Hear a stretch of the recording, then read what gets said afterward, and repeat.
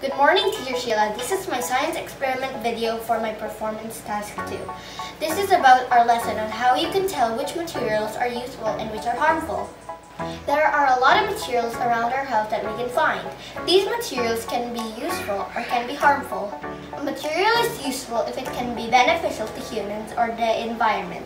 One example is water. Water is very useful material that can be used to mix different substances.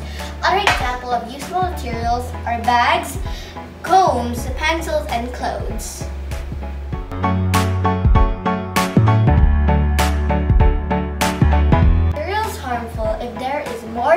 Harm than good that can be obtained from it. For example, batteries can provide energy to different kinds of equipment, but the contents of battery is harmful. Other examples are scissors, knives, and glass if broken.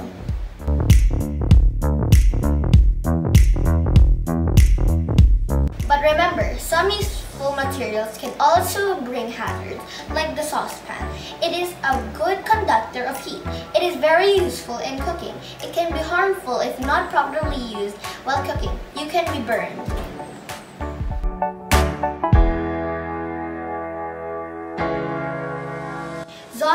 Bleach is an agent for cleaning and disinfectant. It is useful for laundry and disinfection. It can be harmful to humans if ingested or inhaled or if it stays on the skin for too long.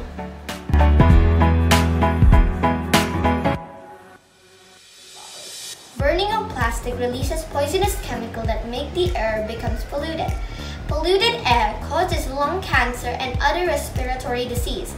Instead of burning plastic, people are encouraged to recycle and it into useful things like pencil case, flower vase, so that it can be useful to anybody without causing harm in the environment.